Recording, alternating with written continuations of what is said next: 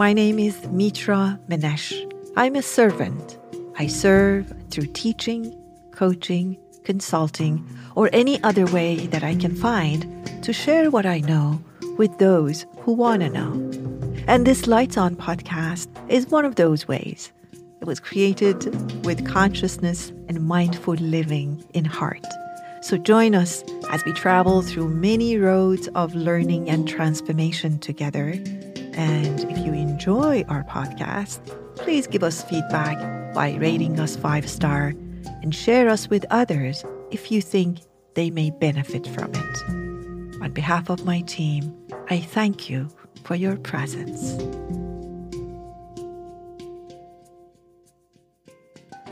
This episode is a coaching episode. Every now and then, I coach someone that I don't know and I've uh, never coached them before. And uh, they usually surprise me with their questions and, and what they need from the coaching session. But they always end up being a very interesting session. This particular session, I was coaching a woman uh, named Maggie. Uh, that's the name she chose for herself. And um, it started with um, Maggie wanting to uh, forgive someone that had harmed her and uh, her child uh, many years ago. So, on the surface, the question was, uh, how do I forgive this person? And of course, we unfolded what forgiveness even means because we usually believe that um, the person that we want to forgive needs to qualify and be uh, forgivable, if you like. And then, of course, many people don't qualify if we um, condition our forgiveness on that. But something even deeper and more interesting uh, came to the surface as we were speaking about forgiving other people. Uh, it became apparent that Maggie really needed to start forgiving herself. And it ended up being a very interesting conversation. Anyways, let's take a listen together. And I hope that you enjoyed listening to this as much as um, Maggie and I enjoyed the session. Um, also, just wanted to add that I heard from Maggie um, a few days later, and uh, she told me how much lighter she felt, even though this was a short session and we didn't do really deep work that I normally do with my clients in in coaching sessions, and um, nevertheless, it had been helpful for her, and I hope that somehow this session be helpful for you. Hi, and welcome to this coaching episode. I am speaking with Maggie, and uh, we're going to be, uh, I don't know, talking about something that I don't know what it is. So, hi, Maggie, and welcome to our coaching podcast. Thank you, Mitra. Hello. Hi. So tell me, I mean, if it was a real coaching session, uh, real, uh, I would be asking you to basically start anywhere that you want to start. Tell me a little bit about you as much as you feel comfortable. And also tell me um, if uh, there is any particular subject that you want to talk about, and then we'll go from there. Okay. Um, I'm not really sure how to like go about saying what I am and um like about me. Um I'm single. I'm a stay-at-home mom. Um got two wonderful kids. Um but I have a hard time letting go of something that happened to me in the past. Mm-hmm. And I know that what happened was wrong and it wasn't my fault. But I just, I can't, I can't move past it. It's like I, I am having a hard time giving them a second chance. Mm-hmm. Mm-hmm. First of all, I'm hearing a lot of emotions here. Um, is there anything I can say or do to make it more comfortable? And do you feel comfortable moving forward and telling me and us about what you mean by that? I'm feeling pretty comfortable. Um, it's, I was worried it was going to be like a trauma dump. And I, I don't want to cross any boundaries there, but, um, um, my first or my ex-husband was, um, mentally and verbally abusive. Um, he was an alcoholic and he was a drug addict. And he has since cleaned himself up. He's gotten married and he's a wonderful dad to her kid. But um, 10 years ago, um, he kind of held me and my kids hostage in a car for over an hour, driving mm-hmm. at ridiculous speeds. Um, my youngest was only five weeks old. Mm-hmm. And it's hard to get past that. It, it's, I know he's not the same person, but it's like I'm waiting for the other shoe to drop and for him to turn back into that person. And I'm worried he's going to hurt my kids the way he hurt me. And he's he's done nothing recently to make me believe he would. Mm-hmm. But I just I can't I can't move forward with it. And I'm I'm feeling stuck.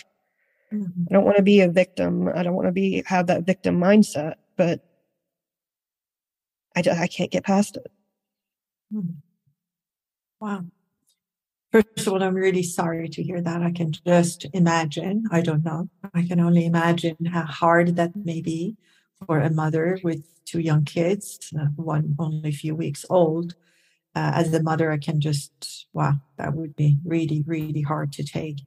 But when you said moving past this, are you speaking about, because I'm hearing two things. One is inwardly, meaning, um, how do I move forward? How do I, for instance, bad word, but forgive him? And are you also saying how to bring him back to life of my kids and have some interactions with him? Is that what you mean? Yes. Um, kind of, kind of both, because I, I know I can't have him in their life until I deal with my own um, insecurities about it. Meaning he's not part of your children's life right now? Not right now, um, because the kids just didn't want to go back. Does he want to be? I don't know. I I can't tell if he wants to be in the boy's life or if his wife thinks that they are supposed to be in their lives. Like that's just part of the normal and mm-hmm. you know she's kind of telling him that he's supposed to be in their lives when mm-hmm. I, I don't think he has any interest. Interesting. What about your children? Do the boys want to have him somehow in in their life? Um sometimes they do. Like they'll say they want to go for a visit but they don't mm-hmm. want to spend the night with them mm-hmm. mm-hmm. I mean, he he he comes to their birthday parties and and uh, Christmas and holidays. Mm-hmm. Okay, so really, I'm I'm just trying to find out what the question is because sounds like somehow, in a very small way, he is involved in their lives. They do not go and spend a weekend or a night there, but they do go and visit. Correct? Um, occasionally. Like I think they've been twice this year. Mm-hmm. And your so. question is, um, I let me tell you why I'm asking this question. I feel your question is mainly inwardly as opposed to outwardly. And if I were you, if I was in that situation, I would start inwardly and then from inwardly resolution or lack thereof, then you can make a decision outwardly. Um, so let's go to um, the time that you felt how you felt and is your major obstacle i'm assuming and please correct my assumption is your major obstacle uh, the fact that you cannot go past that It's a simple way of saying you cannot forgive him for what he has done. Yes, I think I think that's exactly it. Okay. So forgiveness is such a complex uh, subject and and experience because sometimes when we speak about or think about consider forgiveness we are seeking a few things one we want the person to qualify for forgiveness we want this person to show us that they didn't mean it or if they meant it they were not in a mental position to make that decision right or more importantly, that they will never do it again. And these conditions make it almost impossible for the forgiveness to take place because how, how can I make sure that somebody else never ever does something wrong, especially if this person has done something wrong already, as I have a point of reference and experience. I'm going to stop and say, ask you, is this how you see forgiveness? Do you feel he needs to qualify and he needs to make sure that he doesn't do that ever again before you can consider forgiveness? Yeah, I, I think, yeah. Okay. So this is going to be a little bit challenging. Forgiveness has got nothing to do with the person that needs to be forgiven. Forgiveness is a gift to you Maggie. Because obviously, 10 years later, you still are carrying this really heavy memory and incident on your back. And you know, as a single mother with two kids, two boys, I can just imagine you already have a heavy load. You don't need extra he- weight on your back. So this is not about your ex-husband and he may never qualify. I don't know where he is in life. And I have no way, and neither do you, of knowing what happened and what makes a person to go to that place. But I can just ask you if we shifted the conditions of forgiveness and said the forgiveness is a gift you give to you, not to him. How would that, if any, change the way you see forgiveness? And do you have any objections or questions about that? I think that's spot on, exactly what I need because you know, I'm I'm I'm always here with me. um but yeah. Yeah. You forgive him not because he's worthy of forgiveness, because I don't know what that means even, you're forgiving him because this weight is just too heavy for you to carry. And it's, there's no need for it. And by forgiveness, we really are talking about the fact that you accept what has happened, Accept, I don't mean agreement. You're not, I'm not saying, go oh, put a happy face on it. Oh, it doesn't matter what happened. No, it's none of those. It's really acknowledging what happened was really petrifying and was very, very terrible thing that happened. But it happened. It happened. And you can never ever change what happened. You can change your relationship with what happened. And that's a huge, powerful um, right that you have as a person who's experienced that. And now my question to you changes because the question was, does he qualify? Does, does he deserve? I think that's the right phrase. People say, this person does not deserve. And I'm saying, it's got nothing to do with them. It's got to do with you. Because is there any guilt around this for you? I want to ask. There, there is because I'm, as a mom, I feel like I should have been able to see it. I should have been able to stop it. And yeah. I didn't. Really? Really. As the mom, five weeks after giving birth, you should have been able to stop a man that is strong and obviously out of control. Is that a good expectation? Is that reasonable? Would you would you expect that from me if I was your friend, your neighbor? No. No. why do you expect it from you then?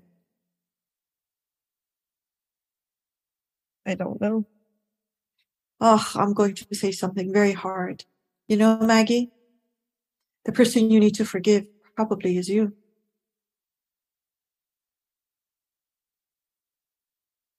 Tell me what's happening for you because our listeners cannot see you. I can see you nodding, but they can't see you. I I do. I I need to be able to forgive myself. Mm-hmm. Yeah. Yeah, because your expectation of yourself is pretty harsh and honestly a little bit unreasonable. Is your ex husband stronger than you physically? Yes. Was he in a state of uh, mind or consciousness that it was safe to stop him? No. No. So, where did this expectation come from? If I told you this story and I said I was in a car after five weeks after giving birth with two young kids, and I had a man who was not in the right state, and I think it was my fault that he did that, and I should have been able to stop him. What would you tell me? That it's not your fault. That it's not you. It has nothing to do with you. It's it's him. And there was nothing you could do. Maggie, how do we forgive ourselves? How do we do that? I don't know. I think you do. I think you're very um, cognizant of the fact that that this is unreasonable. What you're asking yourself, and what you're really expecting of yourself, is very unreasonable. And I think maybe the knot what is really stuck there is um, an expectation that is unreasonable from you, but also I, I don't know. Tell me about where was he at conscious wise and state of health or where, where was he at tell me a little bit more about that um he was very drunk mm-hmm. he has a way or he had a way of um hiding how drunk he was he didn't mm-hmm. slur he didn't he could walk the straight line mm-hmm it was just I had no idea until until it was too late. Mm-hmm. I'm going to going to ask a very silly question. What's in it for you to hold on to this lack of forgiveness of yourself? Nothing. There's nothing in it for me. Are you done feeling bad for yourself and about yourself? Yes. Are you really ready to let it go? Because sometimes we're not, and that's fine. But my question is do you see that what you're asking of yourself is extremely unreasonable? Yes. Um, I can find it a lot easier to be gentle with other people. Mm because you're right. I would I would never tell somebody that was in my position that it was their fault. Mm-hmm. Yeah. Yet you expect yourself to, yeah. You see, I always say this is a funny thing. The way we treat ourselves, if we treated other people, they either leave us or sue us. Just think about that. Yeah. yeah. I mean, yeah. So really, let's make it about you and let's just uh, move forward with that. And and maybe uh, there are some statements that might be helpful. They usually is a mindfulness practice that we put our hand on our heart and we say, for all the wrongdoings that I have done, knowingly or unknowingly, for the hurt that I may have caused myself and others, knowingly or unknowingly, I now forgive myself. Can you say that? For all the hurt that I've done, I forgive myself. Mm. All the wrongs that I've done, I forgive myself. Mm. And I see that your hand isn't on your heart. Doesn't it feel good? It feels like there's support there. Our hand is very healing. And when we put it on our heart, it actually allows us to feel and take our attention to our heart. And this is not about like some nice mindfulness words that we're saying. We really need to see that as human beings, we have come to learn and grow. If I knew everything I needed to know, if I was really capable of not making any mistakes, I probably wouldn't be in a physical body in this physical third dimensional life. I probably would be if there are any beings that have wings and know exactly what to do and say all the time. I'll be one of those. So really understanding the true nature of our humanness and allowing some things that we may not know. And then allowing ourselves to move forward. Tell me about your motherhood. Tell me how, what kind of a mother are you to your sons? Um, I'm very observant. um, they were diagnosed as autistic when they were younger, so I am hyper vigilant with them. Um, I'm very involved. I know where they're at and try to know how they're feeling. Mm. I try to be supportive and make sure they know they're loved. I have a very difficult question for you. Maggie, can you do that for yourself? exactly what you explained to me that you do and how you treat your children, your sons. Can you be loving and observant and caring for yourself? I can. Have It'll you been, practice. think? well, no, you have practice. No, no, no, no, no. I'm going to take you on. You have practice. You have practiced on two people for many, many years. You don't need practice. You just need to believe that you deserve it and you should be really treating yourself just as loving and caring as you do your children. Where is the belief that says Maggie should not be treating herself loving, but she should be a great mother, a loving mother, an observant mother, and very vigilant about her responsibilities? Where, where, where tell me what belief says that Maggie doesn't deserve to be loved and cared and observed and heard. I would love to say it was somebody else's fault, but mm-hmm. I I let my mind get that way. Mm-hmm. You know, instead of fighting back and pushing back. And feel like I'm getting better, but but yeah, I believe what someone else thought of me. Mm. Yeah, or said that they thought of you. So there are three aspects of us, Maggie, that makes us who we are. There's our genetics, there's our history, whatever you have experienced so far, including what we're talking about. And then there is, and usually we leave it at that. So when you ask me, Mitra, why are you like this?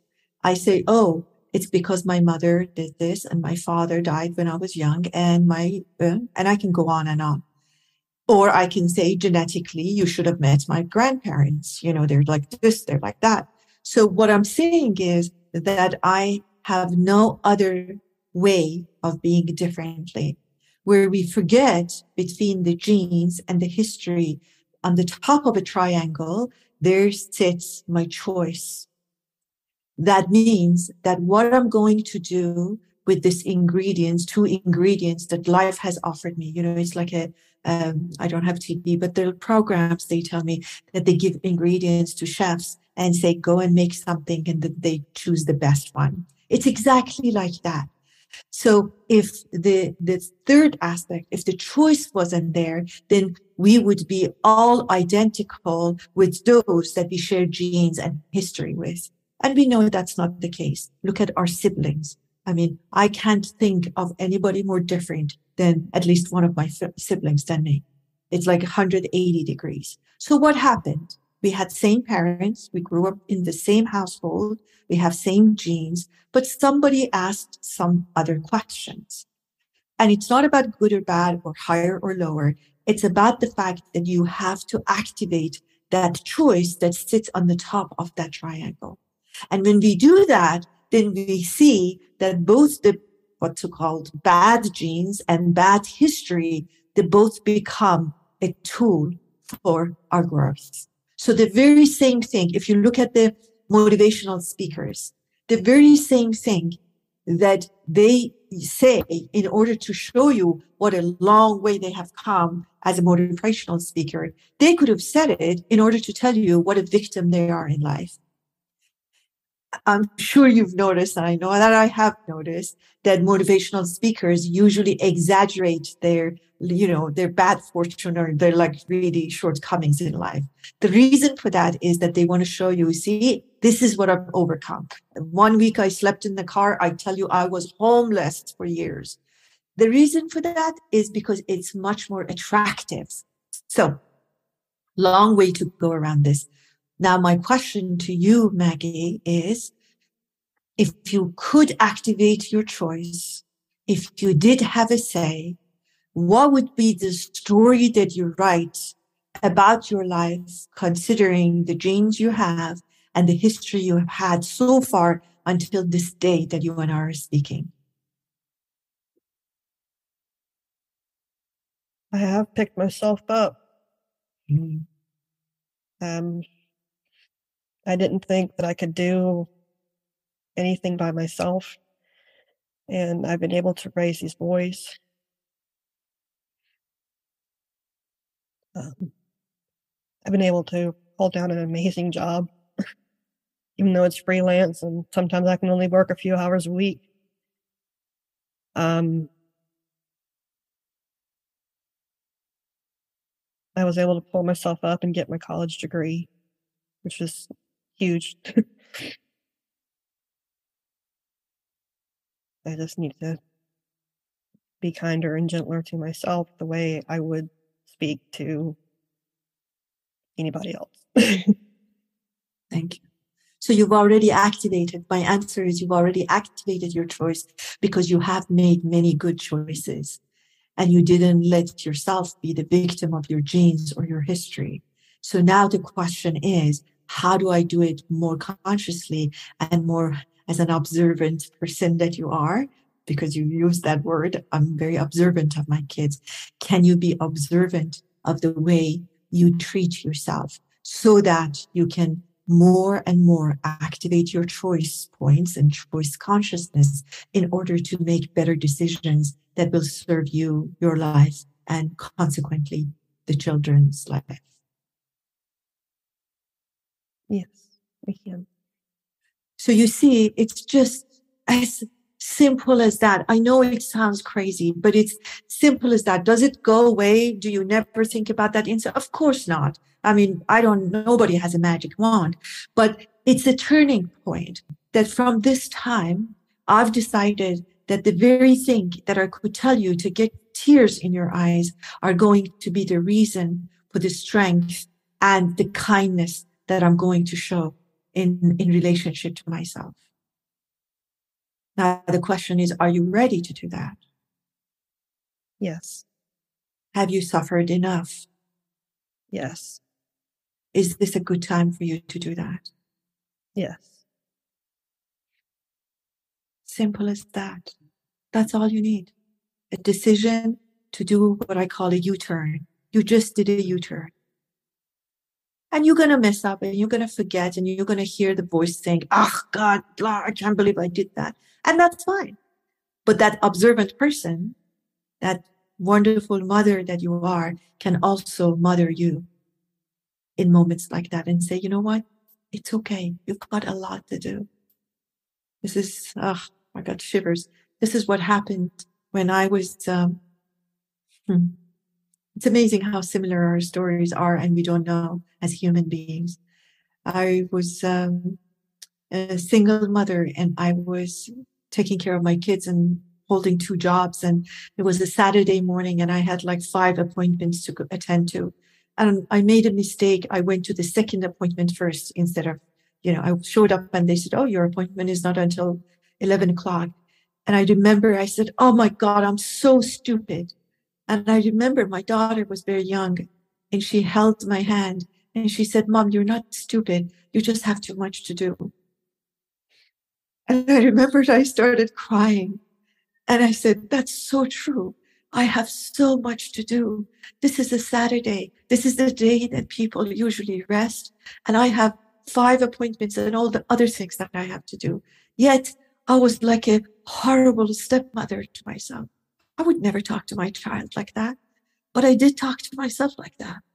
So I always remembered that always, anytime that I want to be harsh on myself, I remember what my little girl told me. And she really was little at that time. And she said, No, you're not stupid. So I want that little girl to come to you. I want to lend her hand to you. And I want you to imagine every time you are unkind to yourself and see that little girl, be it you or any child, doesn't matter. There's a wonderful little girl somewhere that can hold your hand and say, no, you're not silly. No, you're not this and that. You just have way too much to do. And you know what? You're doing a great job. Thank you. Do you believe my words? I do. Can you feel them in your body? Can you remember them for the time that you need them? Yes. You need to practice. The only difference between how you treated yourself before this conversation and now is that you had practiced harshness. And now I want you to practice kindness, kindness to you. And I think then your ex-husband almost becomes irrelevant. Yes, what he did was very wrong. Yes, you have to be um, cautious about how accessible your children are to him. Oh, I understand that. But yes, also they need to have some relationship unless it's not safe for them with their father. They chose this father and they can handle this father. You can't walk the streets of life with them, protecting them forever. Again, unless you tell me that he's still violent and, and, and I'm hearing that he's not. Yeah, he's not, he's not violent. No. Okay and he is not um, on medication, taking drugs or alcohol? I think he still drinks, but not as mm-hmm. bad. Okay. And sounds like his uh, current wife has a sense of family and she wants your children there, right? Mm-hmm. Yes. That's a, that's a good sign. So you have some supervision there. And do you feel your kids are um, mature enough to sort of defend themselves or call you if they're feeling uncomfortable? We're still learning that. Mm-hmm. So we're we're still learning that. Mm-hmm. So that would be a good thing to do as far as doing is concerned, to make sure that they have a way out if this gets uncomfortable for them. But um, the most important part of this conversation was really your relationship with yourself and the shift that needs to happen there. And once you practice the forgiveness for you, maybe you can start practicing forgiving him or just staying with whatever, because sometimes forgiveness is too far. So you can do the same practice, putting your hand on your heart and saying, I am ready to consider forgiveness. That's all, step by step. And if that feels too much, don't do it and leave it and then practice self forgiveness and go back to practicing forgiveness for him when and if you feel you're comfortable. Forgiveness is a process. It's a very long process. But yeah, I think the most important part was the switch that, that I feel on your face. I can see it. Unfortunately, the listeners can't see your face, but I'm seeing a huge shift. All right, let's take a deep breath together. Is there anything else that you want to ask, say, or share? No, I think that was that was it. I, I already feel a huge weight kind of lifted. Wow, that's amazing. All right, thank you. Thank you for being vulnerable and allowing me to be privy to your information. Thank you.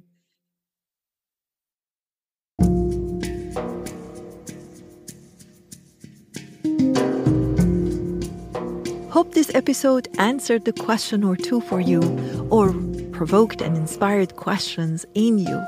I'm so grateful you showed up and listened up. Until the next time, be well and stay curious.